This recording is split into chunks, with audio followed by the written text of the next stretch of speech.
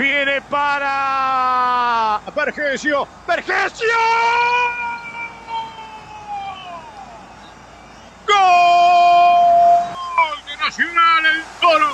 Gonzalo Vergesio a los 36 minutos. La pelota quedó al pío pío. Y eso cuando tenés a Vergesio en el área, es suicidarte. Apareció el toro. Gonzalo Vergesio para que gane Nacional aquí en el Paladino. 1 a 0. Nacional llega por derecha pero concluye por el medio. Porque la pelota derivó a la izquierda y quedó el rebote ahí.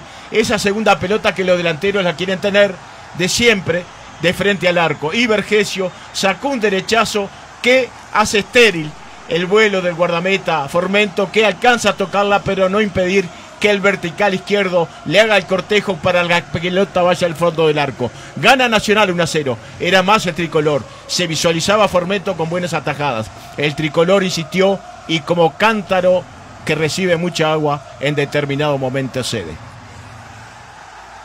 Nacional hacía méritos para estar en ventaja. La pelota quedó bollando, la pelota quedó ahí. Nacional hizo una jugada linda que se empezó a ensuciar y apareció Vergesio para que quedara bien limpita y la pelota dentro del arco. Una parábola, una comba perfecta de la pelota.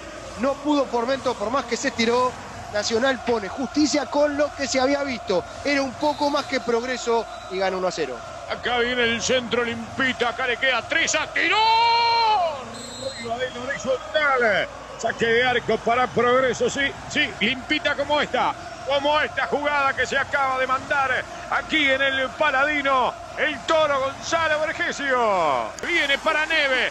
Neve Fernández tiró. ¡Pegó en el palo! ¡Fernández! ¡Gol de Nacional! Apareció Fernández después del rebote. Él la generó, él la probó y en el rebote apareció Fernández a los 40 minutos de este primer tiempo para de a poco comenzar a brochar el partido. Fernández otra vez, che. Made in Argentina a los 40. Nacional 2. Progreso 0. Nacional tiene corazón uruguayo, marca uruguaya, tránsito de fútbol uruguayo, pero tiene definición argentina. Qué bien lo de rematar al arco, aprovechar el viento. En el primer remate hay un rebote en un futbolista de progreso. Sin embargo, Fernández sigue corriendo derecho al arco y se encuentra con el rebote que había dado en el vertical izquierdo del guardameta Formento para después tomar la derecha y cruzársela contra el vertical derecho. Nacional gana 2 a 0. Es justo con este primer tiempo. Ha llegado el tricolor y por momentos Formento se ha visto como gato entre la leña. Se ha revuelto para tratar de atajarla. Nacional se adueñó del juego, no solamente en lo futbolístico, no solamente en el terreno de juego y en lo posicional, también se adueñó, se adueñó del juego en el marcador. Cuatro minutos para que Nacional sacara una diferencia de dos goles o saque una diferencia de dos goles. Estaba mejor en la cancha, lo marca en el resultado. Está bien, porque al gran pueblo argentino, salud. Donde va a salir desde el fondo el equipo de Nacional por parte del chino. Roget gana Nacional 2 a 0. Caminamos en eh, casi 13 minutos de este segundo tiempo. Somos el 88.1 FM Punta del Este para Uruguay y el mundo. La tiene Ramis, Ramis que domina, tira la pelota para el flaco Ayes, aparece el chino Roget. Mirá cómo la frena el viento, mirá cómo la frena el viento, mirá cómo la frenó el viento. Rafa quiere sacar, acá le va a quedar para Fernández, tiró. ¡Gol de progreso! Al pío pío otra vez. El viento jugando una mala pasada. Fernández apareció en el minuto 13, 13, 13 de este segundo tiempo. Se pone a tiro el gaucho.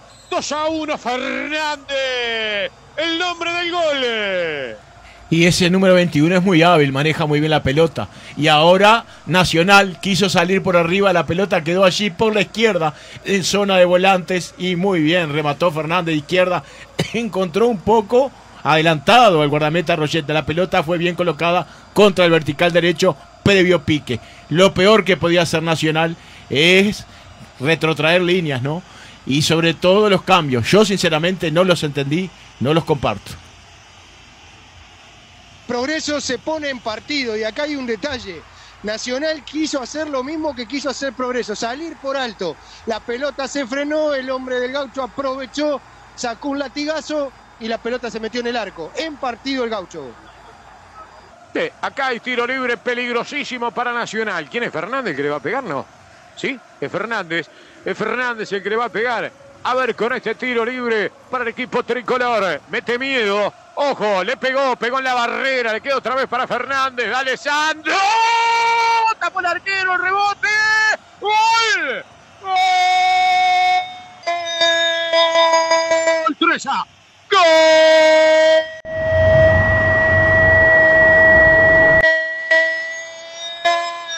Nacional, Alfonso Treza en el minuto 42 lo liquida, lo abrochó, lo cerró Alfonso Treza después de una jugada muy, pero muy dudosa. Mírenla, para mí arranca en posición adelantada, después termina en una falca que la ejecuta Fernández de Alessandro con el eh, botine zurdo, le pone tiza, allí remató, apareció Formento y en el rebote Alfonso Teresa liquida el partido. Nacional 3, Progreso 1.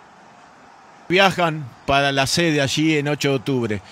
La verdad, cuando arranca la jugada para mí está en posición prohibida Leandro Fernández, que ni preguntó, generó la falta allí sobre la izquierda, remató al arco Leandro Fernández, la pelota rebotó en la barrera, le vino para él, la clarificó bien al medio, llegó un zurdazo muy bueno de D'Alessandro, dio rebote el guardameta Formento y estaba allí al borde del área chica con la caña de pescar, nada menos Treza para meter su pie derecho y mandar la pelota al fondo del arco progreso.